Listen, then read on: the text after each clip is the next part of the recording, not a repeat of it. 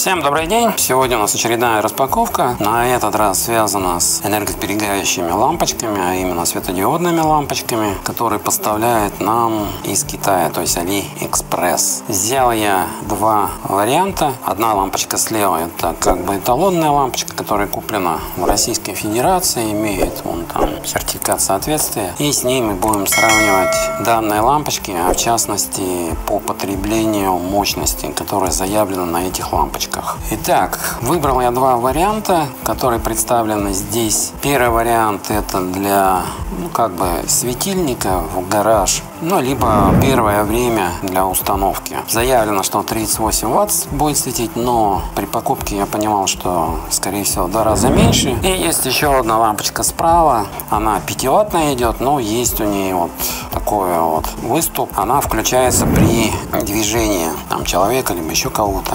То есть, если у вас достаточно длинные темные коридоры, хорошая лампочка, надо включать выключатели. Раз включили, и лампочка вас видит, и, соответственно, включается в тот момент, когда вы проходите этот коридор. Тем самым остаются целости сохранности выключатели, плюс нету шума от включения и выключения. Вы не беспокоите тех, кто находится рядом с этим выключателем и не мешаете ему. Все пришло из Китая, достаточно шло долго, около месяца, и пришло вот в таком варианте. Доставляла у нас Почта России. Как видим, упаковки у нас изрядно потрепаны. Так, а вот э, та лампочка, она была упакована более надежно в картонную упаковку. Поэтому с ней ничего не случилось. Возвращай часть потраченных денег с кэшбэк-сервисом Letyshops.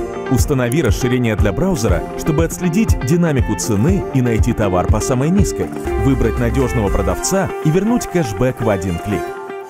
Шопс. И давайте смотреть, скрывать, что находится внутри. Взял я два варианта. Это теплый и холодный свет. Внутри упаковки находится какая-то инструкция каждой. Вот я открыл, здесь инструкция. Но одну достаточно. Понятно, что там будет отличаться только от цветовой температуры в кельвинах.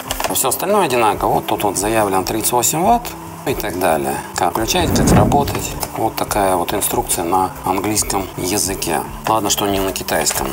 Хотя, кто не знает английский, всегда берет смартфон, Google Translate, наводит на камеры на этот текст и вам переводит на тот язык, который вы знаете. Что из себя представляет лампочки? Вот они такого типа. Написано, что, 2, что 52 светодиода. Вот прям на ней написано, сколько у ней 38 ватт при таких параметрах можно увидеть. Здесь вот охлаждающие алюминиевые какие-то пластины. Я уже вскрывать не буду. Ну, там провода отходят, если видите, в каждое отверстие. А здесь вот плохо сделали, в одно отверстие прошло. Ну, соответствующее исполнение. Вот такая вот лампочка. Ну, здесь написано, то есть 6500 кельвинов. И давайте посмотрим вторую лампочку. Вот она. Ну, такого же плана. Здесь уже получше сделано, то есть проводки, видите, идут в каждое отверстие. Как и задумано. Вот такой вариант. Тоже вскрывать не буду, не буду считать 52. Воспользуемся прибором для измерения мощности. И вот такая вот лампочка. Это 5 ватт. Есть разные, там 5, 7, 10 15, по-моему, есть. Вот. вот такая лампочка. То есть реагирует, там есть два варианта на голос и второй вариант на движение. Причем лучше, если у вас лампочка находится в таком состоянии, чтобы она увидела, когда движение. Если она под каким-то углом, должна, там есть определенный угол, распространение, где она видит, поэтому надо направлять. То есть эта лампочка у меня уже работает около года подобного типа. Никаких проблем не испытывает. То есть включается и выключается. Эти лампочки я взял именно для гаража чтобы там использовать. Итак, давайте сейчас попытаемся замерить мощность этих лампочек и посмотрим, отличаются они от тех значений, которые были представлены производителем, ну и, соответственно, продавцом при на площадке AliExpress. Посмотрим, соответствует ли не соответствует этим параметрам. Итак, давайте замерять. Сначала давайте замеряем эталон, ну как бы эталон. Здесь вот у нас стандартный прибор определения мощности потребления. Так, вот у нас лампочка загорелась. Вспоминаю, это у нас лампочка Супра на 6 ватт. Но сразу же хочу, что эта лампочка, она работала год или два. Соответственно, возможно, могло пройти деградация самих светодиодов. Итак, у нас демонстрируется, что у нас 4,6 ватта сейчас потребляет.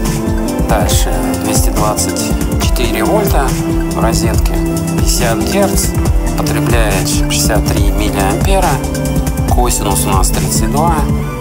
Дальше максимум 4,6 было. Дальше 64 миллиампера максимум было сила тока. И нагрузки у нас не было. И давайте проверять лампы сами. Так, мы выкручиваем. Так называемый эталон. Так, закручиваем эту лампочку. И включаем эту лампочку, соответственно, в сеть. Итак, вот он мы видим, что у нас лампочка горит. Видим, что у нас должно быть 38 ватт, но на самом деле у нас идет 19 ватт. 225 вольта, 50 герц, 123 миллиампера, 0,68 косинус. Дальше максимум, что мы видели, 19,4 ватта. Максимум сила тока 126 миллиампер. Ну и максимум нагрузки мы не получили. И вот в данном случае видим, чему равна мощность. То есть мощность в два раза меньше. И судя по другой лампе, значит ждать от нее сверхъестественно не будем. Как я и предполагал при покупке, что у нас будет не больше половины, так это и произошло.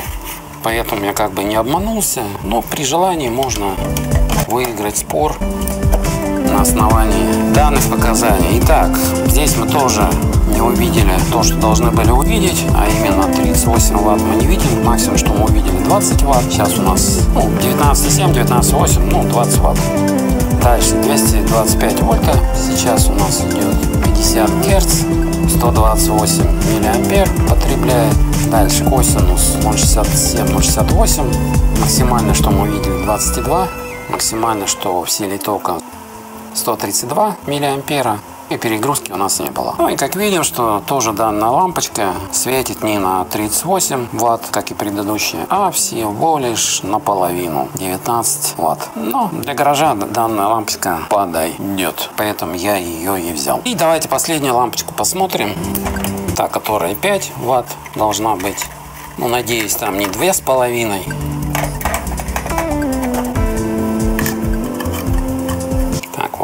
закрутили и подключаем. Вот у нас горит, вот она отключилась.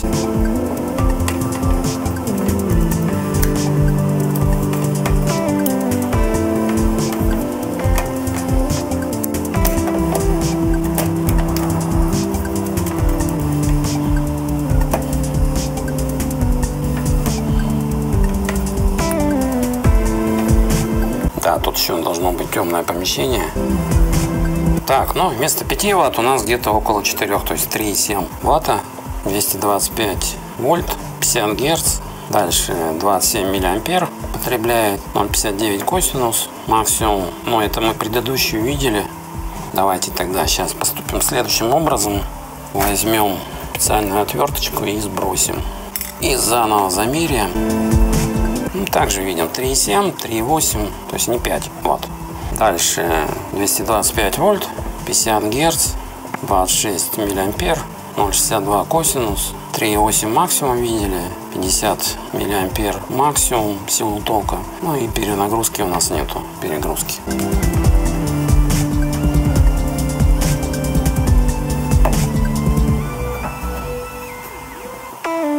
Так, и вот она выключалась. То есть она с периодичностью выключается там, по-моему, 10-20 секунд. Но очень удобно.